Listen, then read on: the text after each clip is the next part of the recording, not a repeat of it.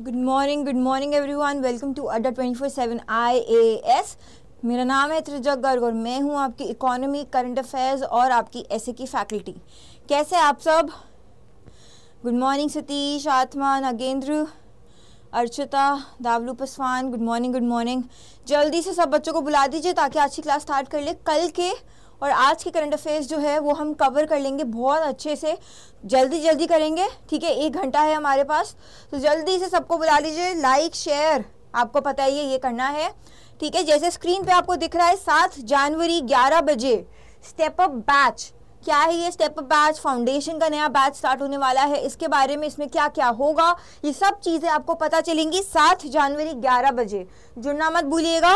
और बेटा आठ जनवरी को T P M D two point का लॉन्च होने वाला है। ये क्या है? ये भी आपको पता चलेगा कब? आठ जनवरी सुबह ग्यारह बजे। तो याद रखिएगा, सात जनवरी सुबह ग्यारह बजे और आठ जनवरी सुबह ग्यारह बजे। ओके? चलिए। स्टार्ट करते हैं।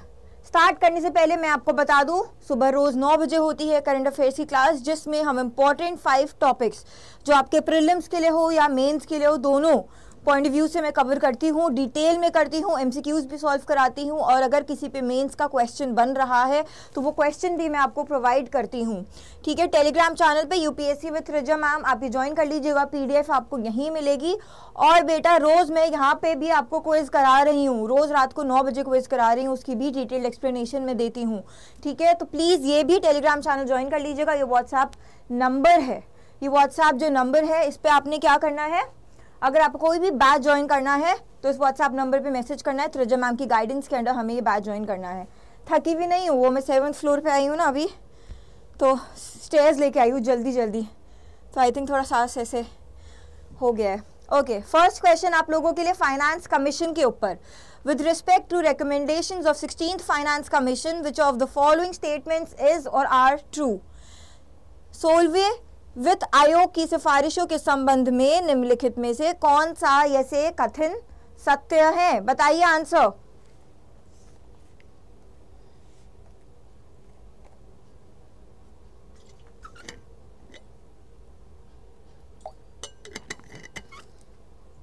आज भी बच्चे नहीं आए हैं, कुछ नहीं होगा, सीरीज़ बंद हो जाएगी।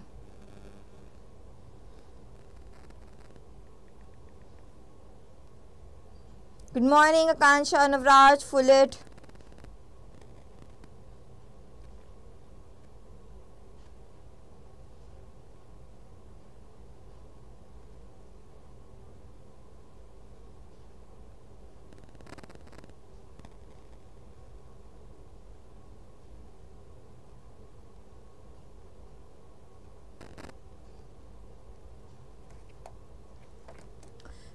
डी बच्चे बोल रहे डी, कि तीनों स्टेटमेंट्स जो है वो सही हैं।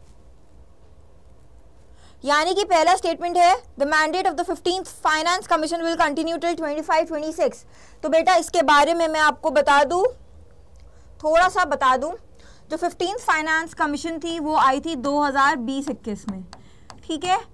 अब उसका जो टर्म एंड होना था, वो पाँच साल के लिए होता है फाइनेंस कमीशन फाइव ईयर्स के लिए बनता है। तो वो होना था 2024 25 में ख़त्म, लेकिन एक साल के लिए आगे बढ़ा दिया गया है 2025-26 तो ये बिल्कुल ठीक है। उसके बाद finance commission is constituted by president under article 280 यानी संविधान के आर्टिकल 280 यानी कि बेटे अनुच्छेद 2280 के तहत ये होता है हर पाँच साल के लिए बनता है। बिल्कुल सही है ये स्टेटमेंट भी। Finance commission is a quasi judicial body quasi judicial body कौन सी होती है?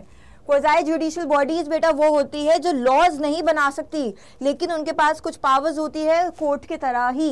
ओके okay, वो होती है क्वाजाई जुडिशियल बॉडीज वित्त आयोग एक अर्ध न्यायिक निकाय है, यानी कि वो न्याय, यानी लॉज नहीं बना सकती, लेकिन कुछ पावर्स कोर्ट की तरह होती है ओके तो आपका फाइनेंस कमीशन हो गया सेबी हो गया, ये सब क्या है? क्वाजाई जुडिशियल बॉडीज ओके चलिए तो आंसर है ऑल थ्री इसके बारे में पढ़ लेते हैं तो अभी न्यूज़ क्या आई है कि अरविंद पनागरिए जो वाइस चेयरमैन थे नीति आयोग के, किसके? नीति आयोग के वाइस चेयरमैन थे, यहाँ पे कुछ गड़बड़ हो गया, एक सेकंड रुकिए। हिंदी क्यों नहीं रीड कर रहा है एक second everyone okay just one second just one second थोड़ा सा आई थिंक प्रॉब्लम आ गया है। एक बार मैं बुला दूँ, क्योंकि ये हिंदी रीड नहीं कर रहा है। डिजिटल बोर्ड जो है। वन मिनट वेट करिएगा आप लोग ओके मैं बुला देती हूँ टीम से किसी को तो वो हेल्प कर देंगे। और ये हिंदी रीड नहीं कर रहा है। रीस्टार्ट ओके एक सेकंड रुकिए रीस्टार्ट कर रही कर दीजिए। It's okay hello everyone hello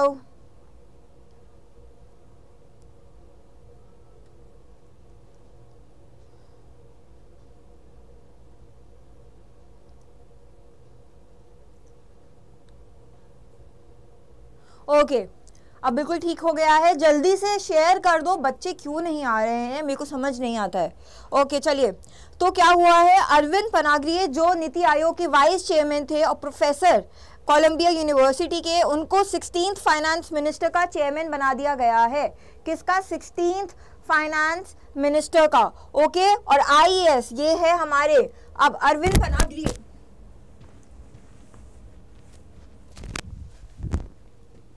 Arvind Panagariya okay? इनको बना दिया गया है। चेयरमैन किसका? सिक्सटीन फाइनेंस कमीशन का। और आईएएस ऑफिसर ऋत्विक राज रंजानम पांडे जी जो हैं आईएएस ऑफिसर हैं, इनको सेक्रेटरी बना दिया गया है सिक्सटीन फाइनेंस कमीशन का याद रखिएगा आप लोग। अब कमीशन क्या है? बेटा, इसकी रिस्पॉन्सिबिलिटी क्या होती है? अगर हम सिक्सटीन फाइनेंस कमीशन की बात करते हैं, यानी कि सोलवे वित्त आयोग की बात करते हैं this commission has the important responsibility of recommending the formula for revenue distribution यानी कि याद रखिएगा, जो स्टेट है हमारा और जो सेंटर है, इनके बीच में किस तरीके से रेवेन्यू डिस्ट्रीब्यूट होगा, उसका फॉर्मूला बनाने की ज़िम्मेदारी है इस कमीशन की। यानी इस आयोग के पास एक अप्रैल 2026 से शुरू होने वाली आगामी पाँच वर्ष की अवधि के लिए केंद्र और राज्यों के बीच राजस्व वितरण के फॉर्मूले की सिफारिश करने की महत्वपूर्ण ज़िम्मेदारी है। ओके, आगे बढ़, आगे बढ़ते हैं। डिवीज़न ऑफ़ टैक्स प्रोसीड यानी कि आपको पता है टैक्स रेवेन्यू आता है, कर आय का विभाजन।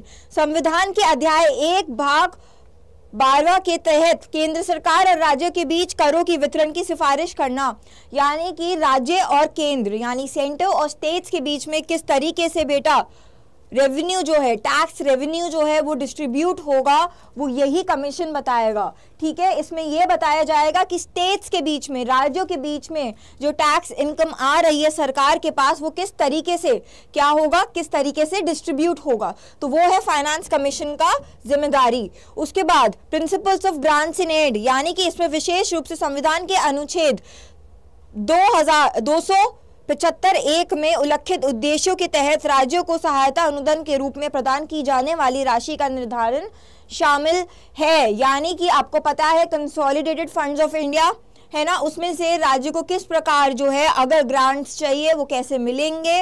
वो भी ज़िम्मेदारी किसकी है? फाइनेंस कमीशन की है। This specifically involves determination of the amount to be provided as grants in aid to the states under the purposes mentioned in article 275 1 of the constitution. यानी कि दो सौ पिछहत्तर एक में, बेटा जो जो चीज़ें लिखी हुई हैं, उसके अकॉर्डिंग स्टेट्स को अगर ग्रांट्स चाहिए तो वो भी कौन बताएगा? वो भी कमीशन बताएगा। ठीक है? अब augmentation of state fund for local bodies यानी कि to identify ways to augment the consolidated fund of the state स्थानीय निकायों के लिए राज्य निधि को बढ़ाना राज्य की समेकित निधि को बढ़ाने के उपायों को पहचान करना, यानी कि किस तरीके से जो फंड्स है हम उसको बढ़ा सकते हैं। वो जो फंड्स है, कैसे उसको बढ़ाया जाए, वो भी ज़िम्मेदारी किसकी है? फाइनेंस कमीशन की है।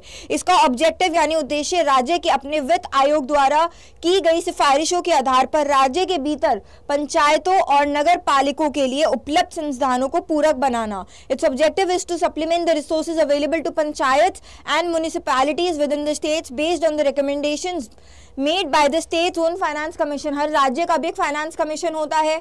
अब जो फाइनेंस कमीशन है किसी स्टेट का, वो सिफारिश देकर रिकमेंडेशन देगा किस तरीके से पंचायत और म्यूनिसिपैलिटीज को भी ये रिसोर्सेज जो है वो अवेलेबल कराए जाएँगे। ठीक है? Evaluation of disaster management financing ये समझो। अब फंड्स जो क्रिएट हुए हैं डिजास्टर मैनेजमेंट एक्ट 2005 के तहत बेटा उसमें क्या होगा? किस तरीके से वो जो फंड्स हैं उसको बढ़ाया जाए? कैसे उसकी फाइनेंसिंग हो? ये भी कौन बताएगा? ये भी फाइनेंस कमीशन ही जिम्मेदार है वो ही रिस्पॉन्सिबल है इसके लिए। ओके okay, यानी इसमें आपदा प्रबंधन अधिनियम 2005 के तहत बनाए गए फंड की जाँच करना और सुधार या बदलाव के लिए उपयुक्त सिफारिशें प्रस्तुत करना शामिल है। ये भी वित्त आयोग बताएगा यानी कि फाइनेंस कमीशन बताएगा। अब। फाइनेंस कमीशन होता क्या है? कौन से अनुच्छेद के अंडर बनता है? कौन से आर्टिकल ऑफ़ द कॉन्स्टिट्यूशन यानी कौन से संविधान के अनुच्छेद में है? याद रखिएगा 280 280 आर्टिकल के तहत बनता है। Finance commission India is a constitutional body है ये, ठीक है? कॉन्स्टिट्यूशन के, यानी संविधान में लिखा गया है। अब its primary function is to recommend the distribution of financial resources between the central government and the state government यानी कि प्राइमरी उद्देश्य क्या है? प्राइमरी रिस्पॉन्सिबिलिटी क्या है? इसका प्राथमिक कार्य केंद्र सरकार और राज्य सरकारों के बीच वित्तीय संस्थानों के वितरण की सिफारिश करना है। किस तरीके से जो फंड्स है, वो सरकार और स्टेट्स के बीच में डिवाइड होंगे, वो वित्त कमीशन यानी वित्त आयोग का काम है ये। ठीक है? अब पंद्रह, बेटा, जो पंद्रहवीं हमारी कमीशन थी, वो 2017 में सेटअप हुई थी, ठीक है? पाँच साल के लिए सेटअप हुई थी। अब 2020-21 से लेके, बेटा 2025-26 के लिए, यानी एक साल बढ़ा दिया गया था। ये जो कॉन्स्टिट्यूटेड बॉडी है, ये कौन बनाता है? प्रेसिडेंट बनाता है अंडर आर्टिकल 280 ठीक है ऑफ़ द कॉन्स्टिट्यूशन और जैसे मैंने आपको बताया क्वाजाई जुडिशियल बॉडी है ये। ओके अभी मैंने आपको स्टार्टिंग में समझाया था। राष्ट्रपति द्वारा इसका गठन संविधान के अनुच्छेद 280 के तहत प्रत्येक पाँच वर्ष या मध्यावधि में आवश्यकता अनुसार किया जाता है। ये अर्ध न्यायिक निकाय है। ये मैं आपको बता चुकी हूँ। तो दो पंद्रहवा जो फाइनेंस कमीशन है, ठीक है, जो हमारी वित्त आयोग थी फिफ्टींथ उसके चेयरमैन थे एन के सिंह और अरविंद मेहता यानी कि सेक्रेटरी ओके चेयरमैन के और सेक्रेटरी अरविंद मेहता अब फाइनेंस कमीशन के बारे में अगर हम और बात करें the speciality of finance commission working style is to strengthen the principle of cooperative federalism यानी कि वित्त आयोग की कार्यशीलता की विशेषता सरकार के सभी स्तरों पर व्यापक एवं गहन परामर्श कर सरकारी संविधान के सिद्धांत को सुहद करना है।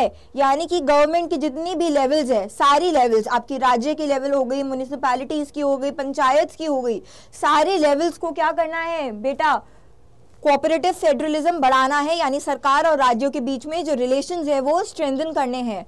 ओके अब फाइनेंस कमीशन के मेंबर्स देख लेते हैं कौन कौन होते हैं। ठीक है? इसमें एक चेयरमैन होता है और चार और मेंबर्स होते हैं। तो टोटल कितने मेंबर्स हो गए? पाँच मेंबर्स हो गए। ठीक है? याद रखिएगा ठीक है, और कौन अपॉइंट करता है इन्हें? प्रेसिडेंट ऑफ़ इंडिया वित्त आयोग में एक अध्यक्ष होते हैं और चार अन्य सदस्य होते हैं जिन्हें भारत के राष्ट्रपति द्वारा नियुक्त किया जाता है। जो मेंबर्स हैं बेटा, वो पाँच साल के लिए, ज़्यादातर देखा जाए तो पाँच साल के लिए करते हैं, लेकिन प्रेसिडेंट अपने ऑर्डर में लिख देते हैं कि कितने साल के लिए वो ऑफ़िस होल्ड करेंगे। तो constitution has empowered the parliament to determine the procedure for selection of members of the finance commission and the qualification accordingly यानी पार्लियामेंट को संविधान ने यह पावर दी है। क्या पावर दी है? कि वो प्रोसीजर जो है, वो बना सकते हैं, किस तरीके से सिलेक्शन किया जाएगा फाइनेंस कमीशन का। और बेटा, क्या क्वालिफिकेशन होंगी? तो वो पावर किसके पास है? पार्लियामेंट के पास है।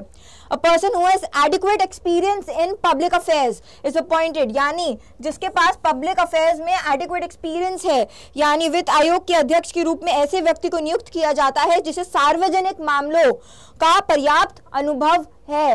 पर्याप्त अनुभव है। जैसे नीति आयोग के जो मैंने आपको बताया, वो अभी चेयरमैन बन गए हैं सिक्सटींथ फाइनेंस कमीशन की। क्वालिफिकेशन की बात करें, एक हाई कोर्ट का जज हो, या जो हाई कोर्ट का जज बनने वाला हो, वो क्वालिफाइड होगा इस पोस्ट के लिए। एक पर्सन जिसका फाइनेंस और अकाउंटिंग मैटर्स ऑफ़ इंडिया में थोड़ा बहुत भी एक्सपीरियंस है, उसके स्पेशल नॉलेज है, वो बन जाएगा। A person having extensive knowledge and experience in administration and बेटा फाइनेंशियल एंड इकोनॉमिक मैटर्स यानी कि प्रशासन के साथ साथ वित्तीय और आर्थिक मामलों में व्यापक ज्ञान और अनुभव रखने वाले व्यक्ति। मैम, वो डायग्राम देख के स्टेट मतलब कंट्री इंडिया लग रहा है और नेशनल मतलब पूरा एशिया दिख रहा है। कौन सा डायग्राम हाँ वो नहीं नहीं, बेटा वो ऐसा नहीं है। स्टेट और नेशनल के बीच में बस एक रिलेशन दिखाने के लिए है। ओके अब क्वालिफिकेशन इसमें एक और बात करते हैं कि स्पेशल नॉलेज होनी चाहिए इकोनॉमिक्स की। ऐसा व्यक्ति जिससे अर्थशास्त्र का विशेष ज्ञान हो प्रेसिडेंट ऑफ़ इंडिया बेटा बताता है कितने साल के लिए का फाइनेंस कमीशन के मेंबर्स जो हैं वो बने रहेंगे। यानी भारत के राष्ट्रपति वित्त आयोग के सदस्यों के कार्यकाल को निर्दिष्ट करते हैं। नॉर्मली अगर बात करें तो पाँच साल के लिए बनते हैं। ठीक है? Members can be appointed under certain specific conditions सामान्य सदस्यों को पाँच वर्ष की अवधि के लिए नियुक्त किया जाता है, लेकिन कुछ विशेष शर्तों के तहत सदस्यों को फिर से नियुक्त किया जा सकता है। यानी देखा जाए तो पाँच साल के लिए किया जाता है, लेकिन अगर कुछ स्पेशल कंडीशन आ जाती हैं तो जो टेन्योर है, वो बढ़ सकता है। ठीक है? जैसे फिफ्टीन फाइनेंस कमीशन में एक साल जो है, वो बढ़ा दिया गया। ओके अब, ये मीन्स का क्वेश्चन आ सकता है, सब लोग इसको नोट कर लेना अपनी डायरी में। Assess the role of the finance commission in maintaining fiscal federalism in india. Bharat में राजकोषीय संवाद को बनाने रखने में वित्त आयोग की भूमिका का आकलन करें। क्या आप सहमत है कि स्थायी दर्जा दिया जाना चाहिए? क्या इसे परमानेंट स्टेटस दिया जाना चाहिए? तो ये बात भी पूछी जा सकती है। अब आगे बढ़ते हैं। नेक्स्ट क्वेश्चन आपका बहुत इंपॉर्टेंट है which of the following statements are incorrect incorrect यानी क्या, कौन से स्टेटमेंट्स गलत हैं अबाउट एक्सपोसैट बताइए।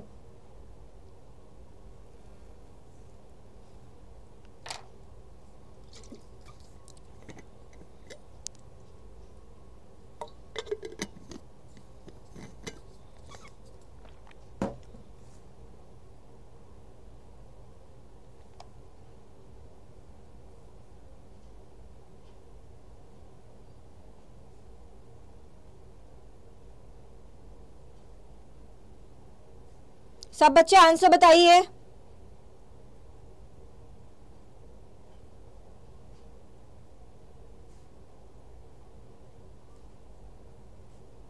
कौन सा गलत है?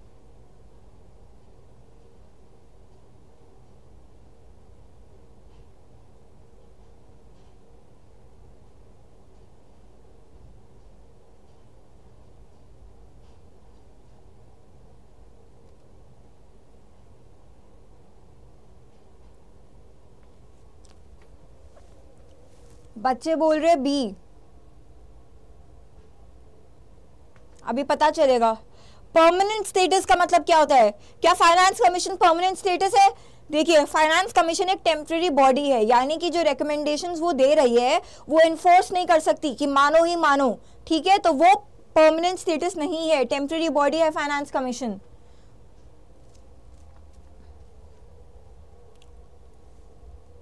चलो, एक बार इसके बारे में पढ़ते हैं, फिर इसका आंसर देखते हैं। तो इंडियन स्पेस रिसर्च ऑर्गेनाइजेशन जो है, यानी इसरो का फ़र्स्ट पॉली पोलारीमेट्री मिशन है x ray polarimeter satellite successfully achieve a precise circular orbit यानी भारतीय अंतरिक्ष अनुसाधन अनुसंधान संगठन के पहले polarimetry mission x ray polarimeter satellite ने सफलतापूर्वक एक सटीक गोलाकार कक्षा हासिल की है। ये क्या है, एक्सपोसैट? बेटा, इसमें ये होता है कि इलेक्ट्रोमैग्नेटिक फील्ड्स जो हमारी सेलेस्टियल बॉडीज है हमारी यूनिवर्स में तो उनकी इलेक्ट्रोमैग्नेटिक फ़ील्ड स्टडी करने के लिए ये सैटेलाइट है। ठीक है, अब एक्सपोसैट क्या है? बेटा एक्सरे पोलारीमीटर सैटेलाइट है। इंडिया का पहला मिशन है जो एनालाइज करेगा क्या x ray polarisation from celestial sources यानी एक्सरेज यानी आप बस ये याद रख लो इलेक्ट्रोमैग्नेटिक फील्ड्स जो है वो स्टडी करने के लिए ये सैटेलाइट है।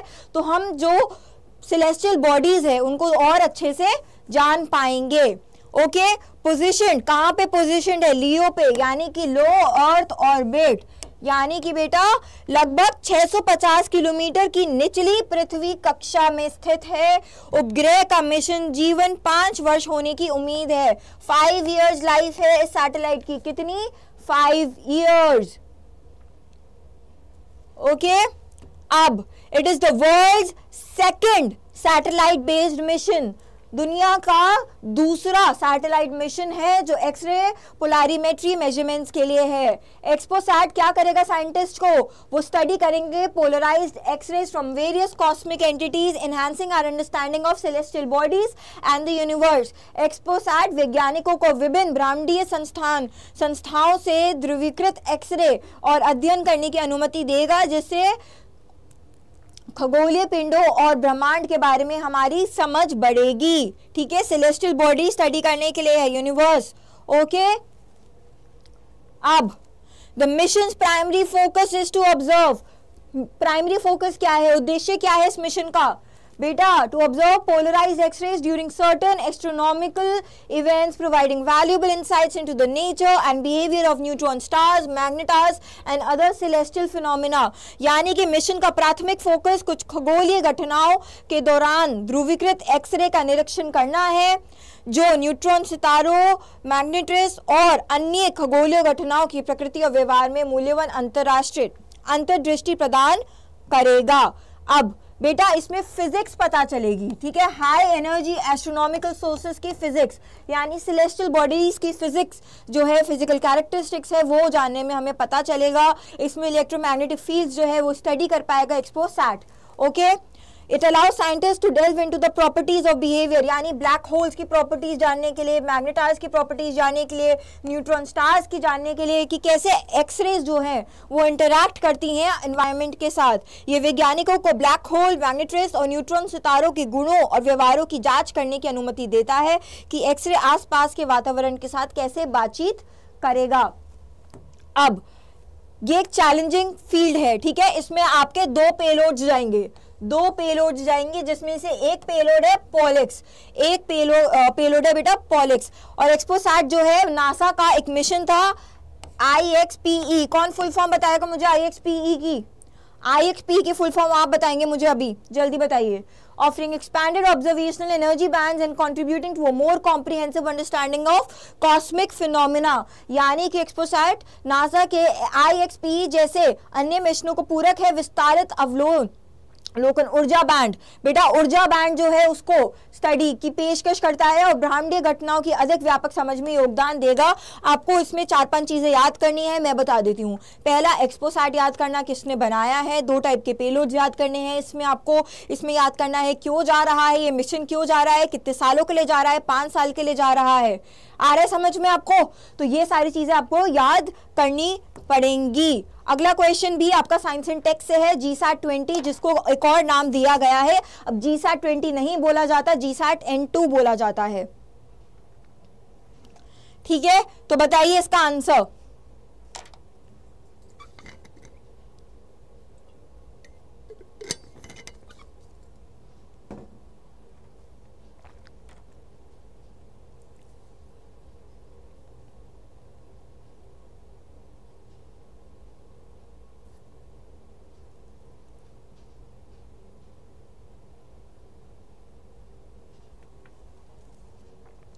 वही फॉर्मूला फुलिट फाइनेंस कमीशन बताएगा। रिपोर्ट अभी दी नहीं गई है।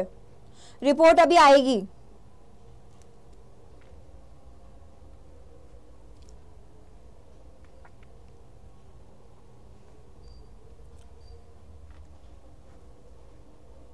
वेरी गुड वेरी गुड जल्दी से सब बच्चे लाइक और शेयर कर दो। ए को लॉक कर दिया जाए आकाश रॉय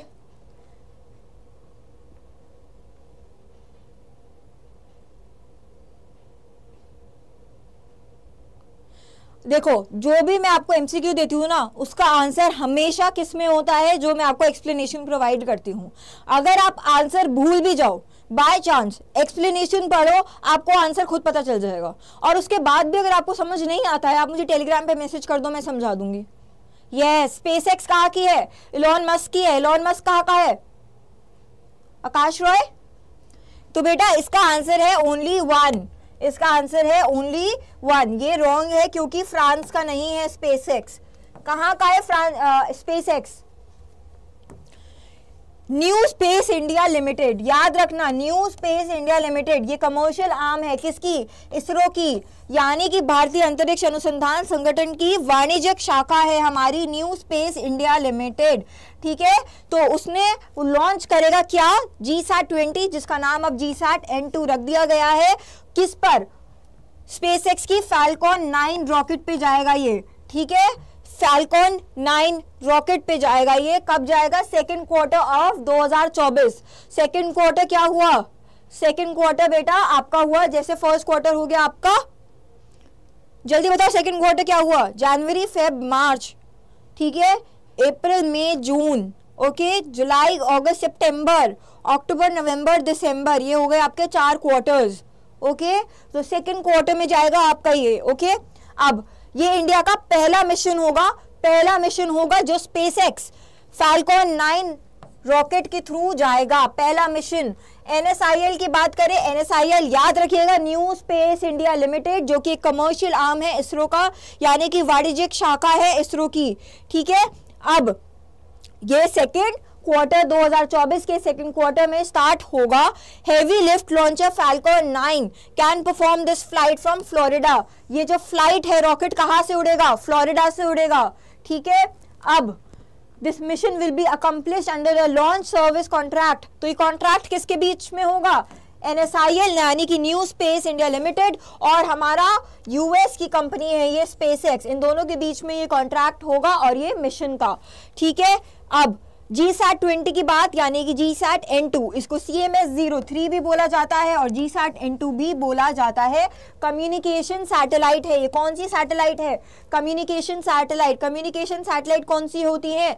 जो बेटा रीच बढ़ाती है कम्युनिकेशन बढ़ाती है। ठीक है? अलग अलग पूरे देश को, लोगों को वर्ल्ड को कनेक्ट करती हैं, ठीक है? तो होती है कम्युनिकेशन सैटेलाइट किसने बनाई है ये? Indian space research organisation satellite centre यानी कि हमारे इसरो ने बनाई है ये, और लिक्विड प्रपोजन सिस्टम सेंटर दो ma'am SpaceX Falcon carried yes Tarulata yes लेकिन इंडिया के लिए ये पहला मिशन है फैल्कॉन नाइन से। ठीक है, याद रखिएगा। तो जी सैट ट्वेंटी जो है, फंड कौन कर रहा है? इसको कौन ओन करता है? कौन ऑपरेट करेगा? न्यू स्पेस इंडिया लिमिटेड कौन करेगा? एन एस आई एल जो कि इसरो की कमर्शियल शाखा है, वाणिज्यिक शाखा है। जी सैट ट्वेंटी उपग्रह न्यू स्पेस इंडिया लिमिटेड द्वारा वित्त पोषित होगा, स्वामित्व और संचालित है। अगर जी सैट ट्वेंटी की बात करें, जून ट्वेंटी थ्री बेटा, पहला टेस्ट कब हुआ था इसका? जून 23 2022 में हुआ था लॉन्च कहाँ हुआ था? फ्रेंच गुआना में हुआ था। और किसने किया था? लॉन्च व्हीकल क्या था तब? लॉन्च व्हीकल था Ariane five V A two five seven okay Ariane five V A two five seven Falcon nine rocket के बारे में अगर हम बात करें टू स्टेज रॉकेट है, ठीक है? रीयूजेबल यानी एक बार अगर आपने लॉन्च कर दिया, इसको दोबारा यूज़ किया जा सकता है। फैल्कॉन नाइन ठीक है? इलॉन मस्क ने बेटा ये बनाया था, उनकी कंपनी है स्पेसएक्स याद रखिएगा यूएस बेस्ड कंपनी है। तो बेटा स्पेसएक्स के अकॉर्डिंग सबसे पावरफुल रॉकेट है ये पूरे वर्ल्ड में। यानी विश्व भर में सबसे पावरफुल रॉकेट है। ओके के अनुसार ये दुनिया का सबसे शक्तिशाली रॉकेट है आज तक। अगर अभी तक की बात करें तो 285 लॉन्चेस हो चुके हैं 243 लैंडिंग और 217 रीफ्लाइट्स रीफ्लाइट्स का मतलब क्योंकि आपको मैंने बताया रीयूजेबल है। इसको दोबारा रीयूज किया जा सकता है।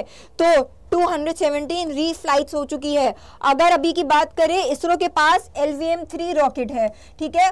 उसमें जो पेलोड जा सकते हैं, वो 4000 तक जा सकते हैं। 4000 हज़ार K G to the geostationary transfer orbit GTO ठीक है? वेयर इन कंपैरिजन अगर फैल्कॉन 9 की बात करें तो वो पेलोज कम से कम डबल 8000 तक भेज सकता है। और हमारा इंडिया जो भेजना चाहता है, वो है 4700 केजीज का। तो ऑब्वियस है हमारा L V M three rocket में तो नहीं जा सकता, इसीलिए फैलकॉन का यूज़ किया जा रहा है। Okay N S I L के बारे में बात करें कमर्शियल आर्म है, यानी कि बेटा, ये वाणिज्यिक शाखा है किसकी? इसरो की। कब बनी थी? 2019 में। हेडक्वार्टर्स कहाँ पे है? यानी मुख्यालय कहाँ पे है? बैंगलोर में है। ओके मेंस का क्वेश्चन क्या आ सकता है what is the significance of G sat twenty's recent launches where does India stand today in the satellite launch market G sat twenty के हालिया परीक्षण पक्ष सॉरी प्रक्षेपण का क्या महत्व है? उपग्रह प्रक्षेपण बाज़ार में भारत आज कहाँ खड़ा है? अगला क्वेश्चन आप लोगों के लिए छोटी सी न्यूज़ है। Britain kings Charles three knighthood किसने इन्होंने जो कॉन्ट्रीब ये जो नाइटहुड का जो टैग है, वो किसको दिया है? ये ऑनर जो है, इसको न्यू ईयर्स ऑनर बोला जाता है। फ़र्स्ट जैन को ये ऑनर्स मिलते हैं, ठीक है?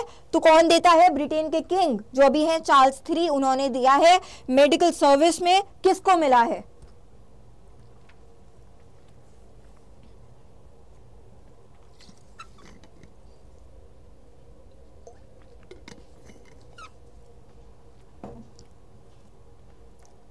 अखिल मैम किसको मिला है ये? बेटा, जल्दी जल्दी आंसर करो। बहुत सारी न्यूज़ है हमारे पास आज। कल की और आज की दोनों की कवर करनी है।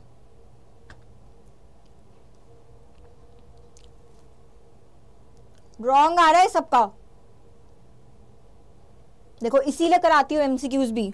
याद हो जाएगा। इसका आंसर है डॉक्टर अमृतपाल सिंह।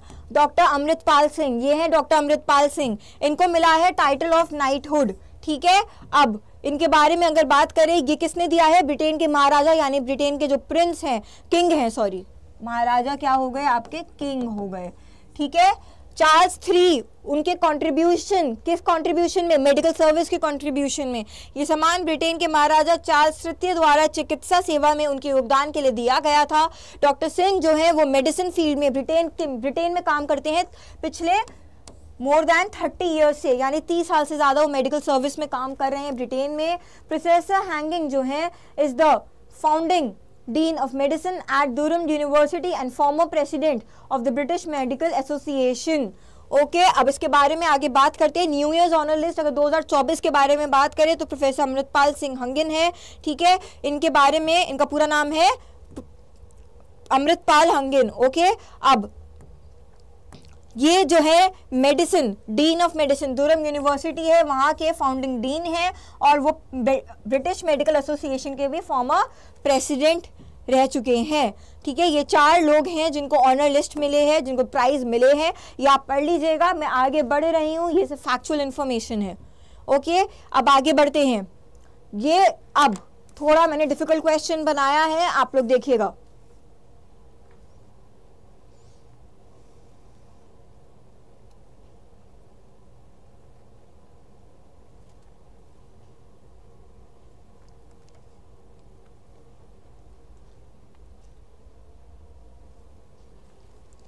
बताइए।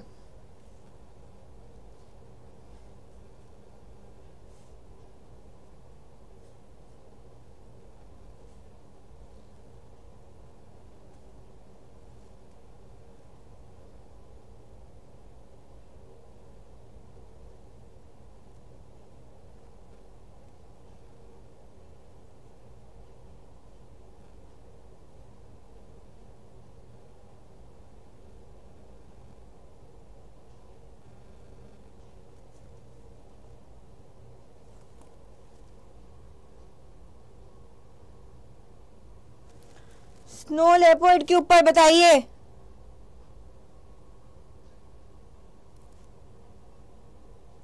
फ़र्स्ट स्ट्रॉन्ग है कंफर्म्ड है। पक्का तरुलता, पक्का। चलिए देखते हैं। Kyrgyzstan has officially declared the snow leopard Panthera onisha as its national symbol. Kyrgyzstan ने क्या किया है कि स्नो लेपर्ड जो है वो नेशनल सिंबल होगा उनका अब से indicating its commitment to conservation and ecological balance Kyrgyzstan ने आधिकारिक तौर पर स्नो लेपर्ड को अपना राष्ट्रीय प्रतीक घोषित किया है, जो संरक्षण और पारिस्थितिक संतुलन के प्रति अपना प्रतिबद्धता को दर्शाता है। इकोलॉजिकल बैलेंस क्यों है? इकोलॉजिकल बैलेंस क्यों है? बताऊँगी आशु इकोलॉजिकल बैलेंस अब एक बात बताओ, अगर स्नो लेपर्ड्स को कंजर्व नहीं किया जाएगा तो जो हर्बी है, उनकी संख्या जो है वो बढ़ जाएगी, उनकी पॉपुलेशन जो है वो बहुत ज़्यादा बढ़ जाएगी, जिससे क्या होगा, जो हमारा वेजिटेशन है, उस पर बहुत ज़्यादा इम्पैक्ट आएगा, ठीक है? तो वो इकोलॉजिकल बैलेंस भी बनाए रखता है स्नो लेपर्ड ओके अब स्नो लेपर्ड जो है, किर्गिस्तान में वो हिस्टोरिकल सिग्निफिकेंस भी है, यानी ऐतिहासिक महत्व भी है, क्योंकि उनका एक लोक नायक है, ठीक है? मानस ठीक है लोकनायक है मानस। वहाँ पे revered as a symbol of greatness courage and resilience नायक की कहानी में वर्णित है, जो महानता, साहस और लचीलेपन के प्रतीक के रूप में प्रतिष्ठित है। ये पहाड़ों का भूत कहा जाता है, स्नो लेपर्ड को घोस्ट ऑफ़ माउंटेन बोला जाता है। किसको बोला जाता है? Snow ghost of mountain snow leopards को बोला जाता है, ठीक है? Ghost of mountains okay everyone अब स्नो लेपर्ड्स इंपॉर्टेंट है इकोलॉजिकल बैलेंस के लिए, ये मैंने आपको बता दिया है। One third of the global area यानी हिम तेंदुए परिस्थातिक संतुलन के लिए महत्वपूर्ण है, जो वैश्विक क्षेत्र के एक तिया भाग में निवास करते हैं, उनकी आबादी में गिरावट से विभिन्न प्रजातियों के लिए खतरा पैदा हो सकता है। ठीक है वेरियस स्पीशीज के लिए प्रॉब्लम हो सकती है। सेकेंड स्टेटमेंट राइट होगा। बिल्कुल सही। सेकेंड स्टेटमेंट सही है। Very good Tarulata. तो इसका आंसर है स्टेटमेंट टू इज़ करेक्ट ठीक है? अब ये कहाँ पे रहते हैं? अगर स्नो लेपर्ड्स की बात करें हाई एल्टीट्यूड टेरेन में रहते हैं, उच्च ऊंचाइयों वाले इलाकों के अनुकूलित, उनकी अनूठी काया खड़ी उबड़ खाबड़ वातावरण में चपलता सुनिश्चित करती है। यानी कि बेटा, उनकी जो फिजिक है, वो स्टीप स्लोप्स पे बहुत आसानी से उतर चढ़ सकती है। ठीक है? Snow leopard also face poaching यानी हिम तेंदुओं को अवैध शिकार, निवास स्थान की हानि और उच्च हिमालय में मानव वनजीव संघर्ष और गर्मी का भी सामना करना पड़ता है। ये प्रॉब्लम्स आती हैं। गवर्नमेंट ऑफ़ इंडिया की बात करें तो बेटा गवर्नमेंट ऑफ़ इंडिया ने आइडेंटिफाई किया है स्नो लेपर्ड को, यानी भारत सरकार ने हिम तेंदुओं की पहचान उच्च ऊंचाइयों वाले हिमालय के लिए एक प्रमुख प्रजाति के रूप में की है। इसने प्रजातियों और आवासियों के संरक्षण के लिए एक प्रोजेक्ट स्नो लेपर्ड विकसित किया गया है। प्रोजेक्ट स्नो लेपर्ड किसने किया है? हमारे सरकार ने किया है। आगे बढ़ने से पहले मैं आपको बता दूँ, जो प्रीलिम्स 2024 ले रहे हैं, दे रहे हैं, उनका अटेम्प्ट है, वो अभी भी प्रीलिम्स जो है बैच ज्वाइन कर सकते हैं। कॉम्बो पैक है प्रीलिम्स जो है और टेस्टोथॉन का। ठीक है? वो है नौ नौ सौ निन्यानवे रुपये का। आप मेरा कोड यूज़ करेंगे वाई एट फाइव सेवन इसके लिए तो आपको डिस्काउंट मिल जाएगा और मेरी गाइडेंस भी मिल जाएगी। अगर आपको सिर्फ़ टेस्टोथॉन चाहिए, सिर्फ़ टेस्टोथॉन चाहिए ओनली टेस्टोथॉन ठीक है? तो इसके लिए कोड यूज़ होगा Y eight five seven S जितनी जल्दी लोगे, उतना बेटर है, क्योंकि प्राइसेस आप देख ही रहे होंगे बढ़ गए हैं। टेस्टोथॉन का प्राइस भी बढ़ गया है तो आपके लिए ही बेटर है। ओके अब, आगे आपका आ गया P M N R F के ऊपर। बहुत अच्छी न्यूज़ है ये भी। आप पढ़िए इसको। अब बताइए इसका आंसर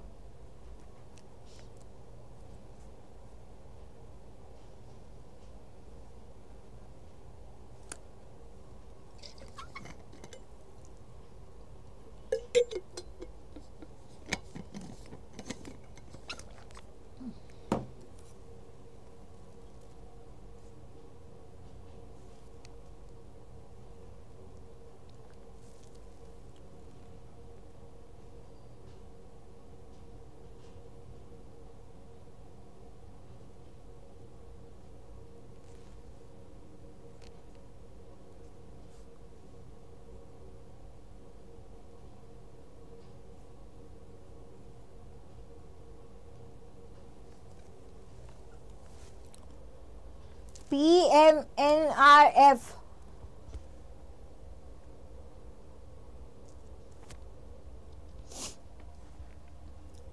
बिल्कुल सही, इसका आंसर है दोनों बोथ वन एंड टू अगर P M N R F की बात करें 1948 उस टाइम हमारे प्राइम मिनिस्टर जवाहरलाल नेहरू जी ने बनाया था, जो डिस्प्लेस पर्सन थे पाकिस्तान से, उनके लिए, उनको फंड करने के लिए। अभी की अगर बात करें तो नेचुरल डिजास्टर्स और मैनमेड डिजास्टर्स से जो लोग अफेक्ट होते हैं, उनको असिस्टेंस प्रोवाइड होती है इस फंड से।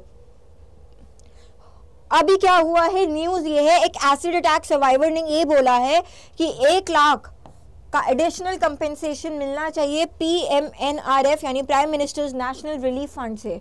ठीक है? और ये जो है बेटा, मिलना चाहिए डिस्पर्स हो जाना चाहिए। दिल्ली हाई कोर्ट ने बोला है कि सेंटर को बोला है कि आप रिस्पॉन्स दो चीज़ पे, ठीक है? तो एसिड अटैक सर्वाइवर ने ये बात मांगी है, ये बात रखी है कि एक लाख रुपए मिलने चाहिए इस फंड से, prime minister national relief fund से, ठीक है? और हाई कोर्ट ने क्या बोला है सेंटर को कि इस पे आप प्रतिक्रिया मांगी है सेंटर से। अब पीएमएनआरएफ की बात करें 1948 में बेटा बना था प्राइम मिनिस्टर जवाहरलाल नेहरू। जी ने बनाया था डिस्प्लेस पर्सन फ्रॉम पाकिस्तान के लिए, यानी पीएमएनआरएफ की स्थापना 1948 में तत्कालीन प्रधानमंत्री जवाहरलाल नेहरू द्वारा पाकिस्तान में विस्थापित व्यक्तियों की सहायता के लिए की गई थी। इस फंड का उपयोग वर्तमान में प्राकृतिक और मानव निर्मित आपदाओं से प्रभावित लोगों को सहायता प्रदान करने के लिए किया जाता है, यानी नेचुरल डिजास्टर्स और बेटा मैन मेड डिजास्टर्स ठीक है, इसमें क्या क्या आ गए आपके? दुर्घटनाएँ आ गई, प्रमुख दुर्घटना में आपका एसिड हमले आ गए, दंगे जैसी मानव निर्मित आपदाएँ हो गई और भूकंप हो गया, चक्रवात हो गया, बाढ़ हो गया, ये आपके नेचुरल हो गए। ठीक है मैन मेड की बात करें तो एसिड अटैक्स हो गए एक्सीडेंट्स हो गए या रायट्स हो गए। जो फंड है बेटा, ये इसको कोई बजट का सपोर्ट नहीं मिलता है, ये बात याद रखिएगा। बजट से कोई सपोर्ट नहीं मिलता है, देश के लोग ही इस फंड में कंट्रीब्यूट करते हैं। ठीक है corpus of the fund is invested with banks in fixed deposits यानी निधि का कोष बैंकों के पास सावधि जमा में निवेश किया जाता है फिक्स्ड डिपॉजिट्स में किया जाता है, और प्राइम मिनिस्टर के अप्रूवल से ही डिसबर्स किया जाता है, यानी संवितरण प्रधानमंत्री की मंजूरी से किया जाता है। ठीक है, प्रधानमंत्री की ज़रूरी है अप्रूवल अब, जितने भी डोनेशन है बेटा, उसमें 100 परसेंट टैक्स डिडक्शन है, यानी सेक्शन याद रखिएगा सेक्शन का नाम। Section 80 G income tax act 1961 के तहत जितना भी आप डोनेट करोगे, वो बेटा क्या हो जाएगा? डिडक्ट हो जाएगा। यानी 100 परसेंट डिडक्शन मिलेगा, आपको मिल सकता है। वो वापस उस पर कोई टैक्स देने की ज़रूरत नहीं है। ठीक है? जो भी आप डोनेट करोगे। ओके अब अगला क्वेश्चन ग्रीन कवर इंडेक्स के ऊपर।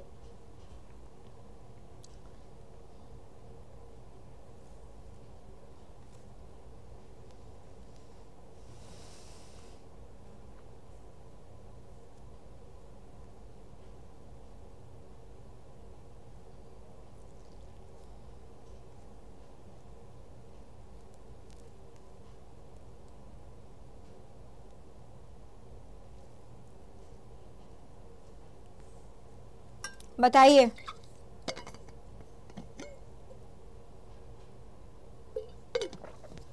ग्रीन कवर इंडेक्स के ऊपर है।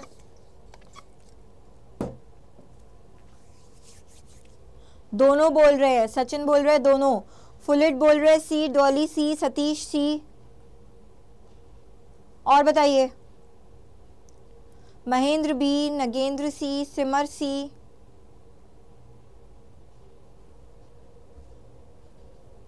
Tarulata D. बेटा, दोनों सही है। दोनों सही है। ग्रीन कवर इंडेक्स क्या है? कि हाईवेज के ऊपर क्या है? ग्रीन कवर बढ़ाना। पेड़ पौधे वगैरह जो है, उसे भर देना। उससे क्या होगा? एक तो पोल्यूशन भी कम होगा, है ना? तो वो है ग्रीन कवर इंडेक्स ओके तो किन के बीच में है ये? It is an agreement between N H A I यानी national highway authority of India और बेटा national remote sensing centre ISRO के अंडर है नेशनल रिमोट सेंसिंग सेंटर उन दोनों के बीच में है। ठीक है? वो दोनों मिलकर रिपोर्ट बनाएँगे इसके लिए। अब रोड ट्रांसपोर्ट एंड हाईवेज जो है बेटा, उन्होंने अनाउंस किया है ग्रीन हाईवे पॉलिसी सितंबर 2015 में। ये बिल्कुल सही है, दोनों के दोनों सही है, इसके बारे में पढ़ लेते हैं। National highways authority of India has entered into memorandum of understanding यानी एमओयू साइन हुआ है किसके साथ? नेशनल रिमोट सेंसिंग सेंटर जो कि इसरो के अंडर एक ऑर्गेनाइजेशन है। तीन साल के लिए वो क्या करेंगे? किसके लिए? तीन साल के लिए, ठीक है? Develop and report a green cover index for the extensive network of national highways in India यानी ग्रीन कवर इंडेक्स जो है, सूचकांक जो है, वो बनाया जाएगा। कौन कौन बना रहा है? National highways authority of India और आपका नेशनल रिमोट सेंसिंग सेंटर अब ministry of road transport and highways हमारी जो है, यानी सड़क परिवहन और राजमार्ग मंत्रालय जो है, सितंबर 2015 में हरित राजमार्ग नीति ग्रीन हाईवेज पॉलिसी जो थी, वो अनाउंस की थी। इसमें इसी पॉलिसी के under green highway mission announce हुआ था। National green highway mission announce हुआ था इस पॉलिसी के under. The national green highway corridors project जो है सपोर्ट करता है एनजीएचएम को। अब जो हमारा ये मिशन था, इसमें प्रोजेक्ट क्या था? National green highway corridor project अब क्रोनोलॉजी समझो। हमारे ये मंत्रालय है, मंत्रालय ने ये पॉलिसी अनाउंस की थी 2015 में। इस पॉलिसी के अंडर आया था एक मिशन इस मिशन के अंडर आया एक प्रोजेक्ट ठीक है? ठीक है? समझ आ रहा है? Provision of green and safe transportation देखो, ये ग्रीन ग्रीन दिख रहा है है ना? तो ग्रीन कवर बढ़ाने के लिए ग्रीन कवर बढ़ाने के लिए। अब प्रोजेक्ट का मतलब बेटा यही है कि हम ग्रीन और सेफ़ टेक्नोलॉजीज़ यानी सेफ़ ट्रांसपोर्टेशन हो ग्रीन कवर को जो है वो बढ़ा दिया जाए। 2015 से अगर बात करें greening the highway corridor is being done on priority ठीक है? बेटा ग्रीनिंग हो रही है, यानी पेड़ पौधे उगाए जा रहे हैं हाईवेज के ऊपर 2015 से ओके और इसमें प्लांटेशन और monitor through site visits field जो पर्सनल है, यानी वर्तमान में वृक्षारोपण की निगरानी क्षेत्रीय कर्मियों द्वारा स्थल के दौरे के माध्यम से की जाती है। But after this agreement enhancing data collection at the origin and plantation management and monitoring will be done by N R S यानी नेशनल रिमोट सेंसिंग सेंटर जो कि इसरो का है। तो डेटा कलेक्शन किस तरीके से हो रहा है, क्या चल रहा है, वो कौन करेगा? एनआरएससी करेगा। ठीक है? सैटेलाइट इमेजरी के थ्रू किसके थ्रू सैटेलाइट इमेजरी के थ्रू अब समझ आया इसका रोल अब समझ आया इसका रोल एनआरएससी का रोल समझ आया। इसरो की जो हमारी नेशनल रिमोट सेंसिंग सेंटर है, वो सैटेलाइट के थ्रू देखेगी मॉनिटर करेगी और डेटा कलेक्ट करेगी हाईवेज के ऊपर। ठीक है? अब आगे बढ़ते हैं। ग्रीन हाईवे पॉलिसी की बात करते हैं। अब इस पॉलिसी की अगर बात करें, इसको ग्रीन कवर इंडेक्स बोला जाता है। ये इनोवेटिव अप्रोच है, जिससे रोबस्ट एंड रिलायबल सिस्टम जो है वो बनेगा। It provides a cost effective solution basically बस ये है, किस तरीके से ग्रीनरी जो है वो बढ़ानी है हाईवे के ऊपर। कुछ याद नहीं करना, बस ये याद करना है कि राष्ट्रीय राजमार्गों के किनारे हरियाली की गहनता का अनुमान करने के, समय की बचत करने के साथ लागत प्रभावी समाधान प्रदान करता है। ये उन क्षेत्रों में लक्षित कार्यक्रमों की सुविधा भी प्रदान करता है, जहाँ पर्याप्त हरित आवरण की कमी है, जहाँ पे ग्रीन कवर जो है वो एडिक्वेट नहीं है। ग्रीन कवर करना है हाईवे पे, ओके? अब, अगर हम नेशनल रिमोट सेंसिंग सेंटर की बात करें तो ये इसरो का एक मेजर सेंटर है इसरो जो कि डिपार्टमेंट ऑफ़ स्पेस में आता है। हेडक्वार्टर्स कहाँ पे है? हैदराबाद में है इसका, ठीक है? इसका काम क्या है? इसको क्या ज़िम्मेदारी दी गई है? इसे उपग्रह डेटा प्राप्त करने के अलावा सुशासन के लिए भू स्थानिक सेवाओं सहित सुदूर संवेदी अनुप्रयोगों के लिए तकनीकी के विकास के संदर्भ में भू स्टेशन की स्थापना करने का अधिकार है, यानी कि ग्राउंड स्टेशन आ रहे समझ में आप लोगों को? तो उसका काम अभी इस पॉलिसी में, इसका काम इस पॉलिसी में बेटा अब ये है कि ग्रीन कवर, हाईवेज के ऊपर जो ग्रीन कवर है, उनको सैटेलाइट से देखना, ओके? और उसका डेटा जो है वो कलेक्ट करना। ये एक्स्ट्रा ही है। स्मार्ट टू पॉइंट ओ क्या है? चलिए।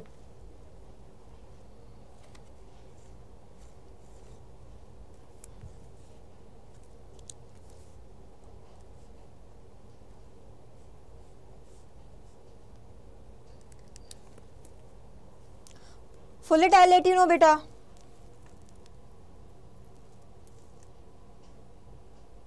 लगा दो पेड़।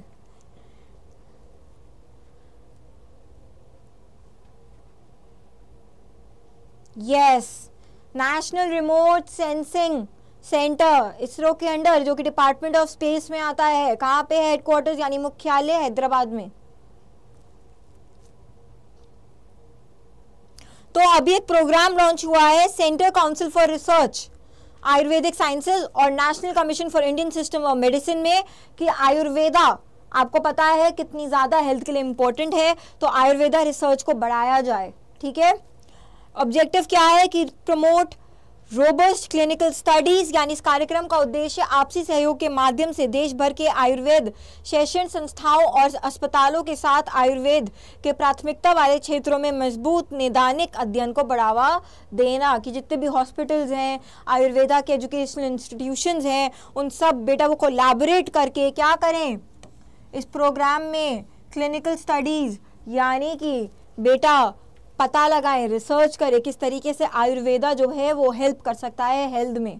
ठीक है? तो इसका आंसर दोनों है, दोनों करेक्ट है बोथ वन एंड टू इसके बारे में एक बार बात कर लेते हैं। ये अभी लॉन्च किया गया है smart two point two smart two point two की फुल फॉर्म क्या है? Scope of mainstream main streaming Ayurvedic research among teaching professionals यानी कि जो टीचिंग प्रोफेशनल्स हैं, उनके बीच में क्या है? रिसर्च को बढ़ाना, किस पर? आयुर्वेदा के ऊपर, ठीक है? शिक्षण पेशेवरों के बीच आयुर्वेद अनुसंधान को मुख्य धारा में लाने का दायरा वो है स्मार्ट 2.0 किसने लॉन्च किया है? C C R A S यानी centre council for research in Ayurvedic sciences और N C I S M यानी national commission for Indian systems of medicine इन दोनों के बीच में। ठीक है? अब इसके बारे में अगर बात करें, इसका ऑब्जेक्टिव क्या है? इस कार्यक्रम का उद्देश्य मैंने आपको बता दिया, वो ऑलरेडी आपके क्वेश्चन में लिखा गया था। अब स्मार्ट 2.2 के बारे में बात करें, इसकी फुल फॉर्म क्या है? Scope for mainstreaming Ayurveda research among teaching professionals इसमें जो सी और N C I S M है, बेटा वो invite expression of interest from Ayurveda colleges यानी आयुर्वेदा के जो कॉलेजेस हो गए हॉस्पिटल्स हो गए यूनिवर्सिटीज़ हो गए, वो मिलकर क्या करेंगे? Robust studies demonstrating the efficacy and safety of Ayurveda ठीक है? कि जितने भी हेल्थ केयर चैलेंजेस होते हैं, यानी स्वास्थ्य के जो भी चुनौतियाँ होती हैं, उसको हम आयुर्वेदा से किस तरीके से ठीक कर सकते हैं? ये मिलकर कौन करेगा? बेटा, जो टीचिंग प्रोफेशनल्स हो गए कॉलेजेस हो गए हॉस्पिटल्स हो गए, वो यूनिवर्सिटीज़ हो गए आयुर्वेदा के तो बेटा वो रिपोर्ट बनाएँगे स्टडी करेंगे प्रूव करेंगे कि हेल्थ के चुनौतियाँ जो हैं, हम उनको आयुर्वेदा से ठीक कर सकते हैं और एक ये सेफ़ तरीका भी है ओके अब इसमें फोकस क्या है? फोकस एरियाज़ देखो। मैम आपकी क्लास का टाइम आपके क्लास का टाइम समझ नहीं आया मुझे। इनिशियल रिसर्च में क्या आएगा? पीडियाट्रिक्स यानी बच्चे 18 साल की उम्र से छोटे जो बच्चे हैं, वो आयुर्वेदा का किस तरीके से यूज़ कर सकते हैं? औरतों की हेल्थ, महिलाओं का स्वास्थ्य मैल न्यूट्रिशन कुपोषण लाइफस्टाइल डिसीजेज यानी जीवन शैली से जुड़ी बीमारियाँ जो हैं, वो हो गया। चाइल्डहुड न्यूट्रिशन यानी कि बेटा, बचपन का पोषण में जो प्रॉब्लम आती है मेंस्ट्रुअल इश्यूज़ यानी मासिक धर्म संबंधी समस्याएँ जो हो गई, ठीक है न्यूट्रिशन में की बात हो गई, कुपोषण या कैल्शियम की कमी हो गई लाइफस्टाइल डिसीजेज में आपका डायबिटीज़ हो गया, या ऑस्ट्रियोपोरोसिस हो गया, इसमें क्या होता है बोन्स जो वीक हो जाती हैं ओके क्लास का टाइम फिक्स नहीं है क्या? फिक्स है बेटा nine A M to ten A M और three P M to four P M ठीक है C C C R A S जो है वो साइंटिफिक इनपुट्स देगा और वो बताएगा मल्टी बेटा सेंटर ट्रायल्स होंगे, किस तरीके से आयुर्वेदा जो है इन सब चीज़ों में हेल्प कर सकता है। ओके अब रेखा लेट रेखा मीना लेट ठीक है? Despite the huge potential of Ayurveda Ayurveda की विशाल क्षमता के बावजूद साक्ष्य अंतराल पारंपरिक चिकित्सा के सापेक्ष, बेटा, सार्वजनिक स्वास्थ्य कार्यक्रम में एकीकरण की सीमित करता है। यानी कि बेटा, आपको पता है, लोगों को पता है कि आयुर्वेदा जो है बहुत ही ज़्यादा बेनिफिशियल है। लेकिन उसके बाद भी क्या होता है, लोग जो है वो कन्वेंशनल मेडिसिन ज़्यादा यूज़ करते हैं। यानी गोलियाँ वगैरह ज़्यादा खाते हैं, ठीक है? The smart initiative therefore facilitate generating tangible validation यानी कि जो इनिशिएटिव आया है स्मार्ट 2.0 ये बताएगा कि आयुर्वेदा जो है, वो कैसे आपको बेटर कर सकता है। इसमें मिनिस्ट्री बॉडीज और अकेडमिशियंस जो हैं, वो सारी की सारी इन्वॉल्व है। इसीलिए स्मार्ट पहल मंत्रालय निकायों और शिक्षाविदों को शामिल करते हुए अंतः विषय तरीकों के माध्यम से आयुर्वेदिक उपचार पर ठोस मान्यता उत्पन्न करने की सुविधा प्रदान करेगी। अब successful precedents already demonstrated under the earlier smart 1.2 round on ten disease areas indicate the collaborative approach effectiveness यानी स्मार्ट 1.0 आया था इससे पहले।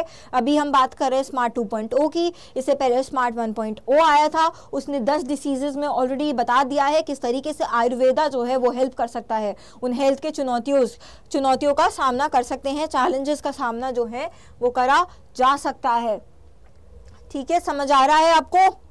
अब बेसिकली बात यही हो रही है, किस तरीके से पार्टिसिपेट करके लोगों की जो सोच है, वो थोड़ी चेंज कर सके, ताकि कन्वेंशनल मेडिसिन की जगह हम क्या कर सके यूज़ कर सके, आयुर्वेदा को यूज़ कर सके। ठीक है the C C R S has welcomed interest for all Ayurveda teaching institution country wide to wide in the academic outreach across region यानी जितने भी आयुर्वेदा के कॉलेजेस हैं इंस्टीट्यूशन हैं, वो मिलकर क्या कर सकते हैं? सी ने बोला है कि आप आओ और आपकी जो स्टडीज़ है, आपकी जो रिसर्च है, वो लोगों तक पहुंचाओ।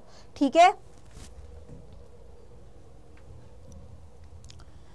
अगर पूरी तरीके से बात करें, कुल मिलाकर स्मार्ट 2.0 कार्यक्रम, विज्ञान और परंपरा के बीच सक्रिय सहयोग के माध्यम से आयुर्वेद को भारत की चिकित्सा मुख्यधारा के भीतर समान साक्ष्य स्तर पर लाने के बढ़ते प्रयासों का संकेत देता है कि हम जो मेडिकल जो मेडिसिन यूज़ करते हैं, उसके बराबर हम आयुर्वेदा को लेके आज अपने भारत में ये विज्ञान यानी साइंस और बेटा ट्रेडिशन जो हमारा आयुर्वेद का कितने सालों से हमेशा से चलता आ रहा है, उसको जोड़ने का एक बहुत अच्छा तरीका है। Active collaboration between science and tradition यानी विज्ञान और हमारी जो परंपरा है। ठीक है बेटा? ये थी आपकी आठ न्यूज़ अब आप देख सकते हैं स्क्रीन पे बहुत सारे टॉपर्स हैं जिन्होंने पेड कोर्सेज का यूज़ करके अब सिलेक्शन लिस्ट में उन्होंने अपना नाम दिया है सिलेक्शन फैमिली में. बेटा, आप लोग भी बन सकते हैं फैमिली का पार्ट जितने भी कोर्सेज हैं, आप हमारी गाइडेंस ले सकते हैं. आप क्या कर सकते हैं? गाइडेंस लेकर पेड कोर्स का यूटिलाइज कर सकते हैं. जितनी जल्दी लेंगे, उतनी जल्दी आपका कोर्स कंप्लीट हो जाएगा. तो जितने भी कोर्सेज हैं, आपको पता ही है, आप अडर ट्वेंटी फोर सेवन के वेबसाइट पे जाकर आप जितने भी कोर्सेज हैं देख सकते हैं, चाहे महापैक है, एक नया फाउंडेशन बैच भी आने वाला है, आप वो ले सकते हैं। अगर 2025 26 27 आपका एम है, आप महापैक ले सकते हैं, उसमें सब कुछ है आपको पता ही है। अगर प्रिलिम्स 2024 दे रहे हैं, अभी भी टाइम है, आप वो ले सकते हैं टेस्टोथॉन के साथ। और अगर आपको टेस्टोथॉन यानी सिर्फ़ टेस्ट सीरीज़ चाहिए मेरी गाइडेंस के अंडर तो आपको कोड यूज़ करना है Y eight five seven S okay आज मैंने आपको कल की और आज की दोनों की न्यूज़ कवर करा दी है। एक घंटे में थोड़ा जल्दी कराया है, ठीक है? अगर कोई भी डाउट आता है, आप मुझे टेलीग्राम पे भी मैसेज कर सकते हैं कि मैम ये समझ नहीं आया, मैं आपको समझा दूँगी, ठीक है? आप लोगों को क्या करना है? कमेंट करना है लाइक करना है और सेशन को शेयर करना है। शेयर करना बहुत ज़रूरी है, कोई भी ग्रुप हो, कोई भी आपका व्हाट्सएप ग्रुप हो, जिसमें आपको लगता है एस्पिरेंट्स पढ़ते हैं, आप उस ग्रुप में प्लीज़ इस वीडियो को ज़रूर शेयर कीजिएगा। Thank you so much and कौन पूछ रहा था?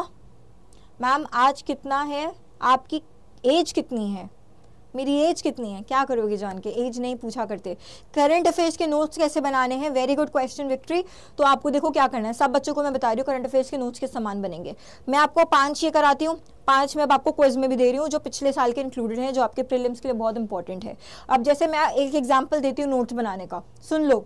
एक एग्ज़ाम्पल देती हूँ मैं आपको नोट्स बनाने का। देखिए, यही यही वाली न्यूज़ ले लेती हूँ। ठीक है? यही वाली न्यूज़ ले लेते हैं। ठीक है? अब आप क्या करोगे? इस न्यूज़ का नोट कैसे बनाओगे? आप छोटी सी लिखना, ठीक है? छोटा सा लिखना, आयुर्वेदा हेडिंग आएगी आयुर्वेदा मेडिसिन ठीक है?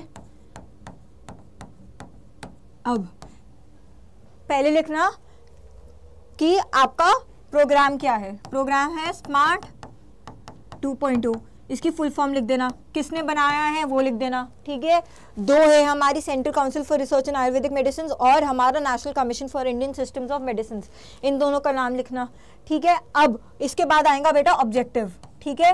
कि उद्देश्य क्या है? और इसके बाद आएगा कि इसमें इन्वॉल्वमेंट किस किसका है? यानी कौन कौन लोगों के लिए है क्या क्या होगा? तो ये हो गया आपका छोटा नोट मुश्किल से आधे पेज में भी नहीं आएगा, पाँच लाइन में आपका नोट पूरा। उसके बाद बाकी अंडरस्टैंडिंग के लिए अब किस सर या मैम की क्लास होगी मैम यूट्यूब पे?